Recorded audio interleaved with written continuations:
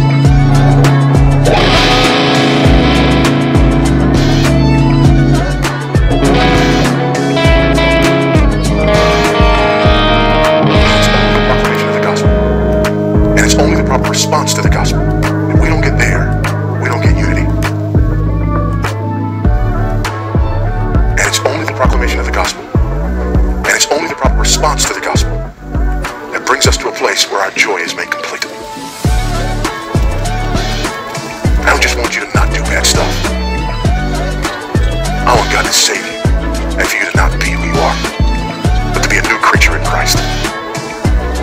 If you're struggling to not do bad stuff, that's not gospel living. Gospel living is we're more than conquerors. If you're one of those individuals who's been manipulated and cheated, my prayer for you is that you would come to a place of authentic faith and genuine repentance before Almighty God you would trust in Him and Him alone, the finished work of Jesus Christ on the cross. His active and passive obedience, His imputed righteousness unto you, and His penal substitutionary atoning death on the cross. That and nothing but that. That you would see your sinfulness for what it is, that you would flee from it with everything that you have, that you would turn from it, and that you would turn to Christ and to Christ alone to be redeemed, to be forgiven, and to be saved. That's my prayer for you. And then as a result of that, you become a new creature in Christ you bear fruit that you can't manufacture or fake or